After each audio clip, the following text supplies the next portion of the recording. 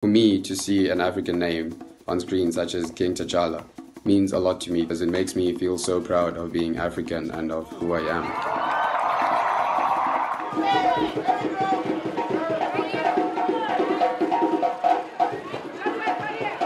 King, Mr. Chadwick Boseman.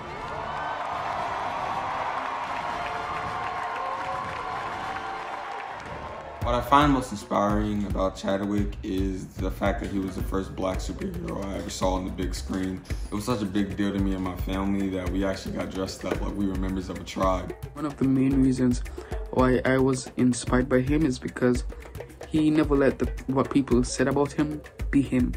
He always kept his head high. He stood up for his race. He helped a lot of people.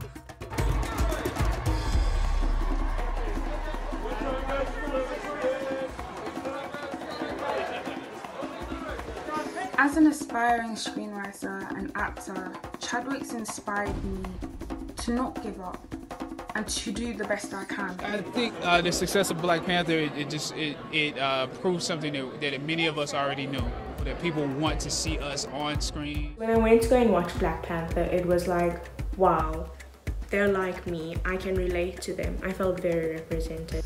It was absolutely amazing to see culture and diversity on a Marvel production because you do not really see that. The earliest memory of me seeing Chadwick Boseman on screen was actually the Royal Talon Fighter flying through the mountains to see Wakanda for the first time. I took it home and dreamed about being the Black Panther myself. And you know, that's what Chadwick Boseman did for me. He made me feel like I could be a hero too.